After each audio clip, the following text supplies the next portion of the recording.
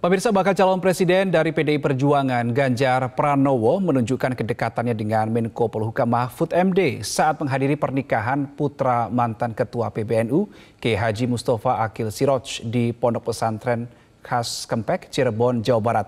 Keakraban Ganjar Pranowo dengan Mahfud MD ini pun memunculkan spekulasi yang menguatkan potensi keduanya berpasangan di Pilpres mendatang.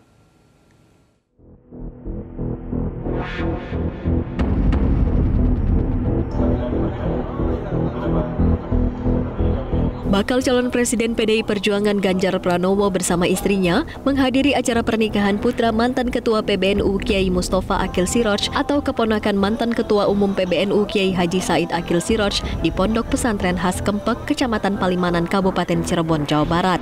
Kedatangan Ganjar pada acara pernikahan ini pun mengundang perhatian tamu undangan yang tak menduga bisa bertemu Ganjar Pranowo pada acara tersebut. Pada kesempatan yang sama, Menko Polhukam Mahfud MD juga menghadiri acara pernikahan tersebut. Ganjar dan Mahfud duduk satu meja dan kerap nampak berbincang akrab pada acara tersebut. Kedekatan Ganjar dan Mahfud ini pun memunculkan spekulasi yang menguatkan potensi keduanya akan berpasangan di Pilpres 2024 mendatang. Dekat tadi, deket banget saya. Duduknya aja sebelah. Iya. Pokoknya jadi cawapres atau gimana, Pak? apa gimana, Pak? Kenapa? Apakah mungkin dijadikan cawapres apa gimana, Pak? Lu semuanya mungkin apa yang tidak mungkin? Kemarin dengan Kiai Said deket banget saya.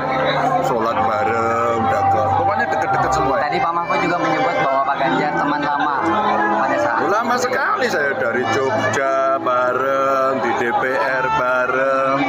Kami komunikasi intens ya. Apakah itu menjadi salah satu indikator untuk dekat menjadi cawapres nanti Pak? Pokoknya kalau sudah silaturahmi jangan terputus. Tadi tampak sedikit mesra dengan Pak Ganjar Pak. Hah?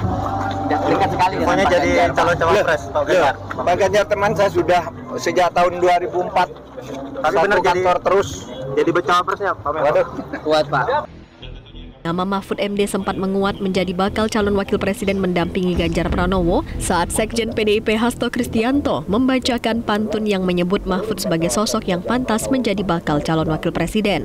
Selain Ganjar dan Mahfud MD, sejumlah tokoh dan pejabat juga terlihat menghadiri pernikahan tersebut, termasuk Menteri ATR Hadi Cahyanto, juga Menteri Agama Yakut Holil Kaumas. Dari Cirebon, Jawa Barat, Faizal Nurrahman, Metro TV.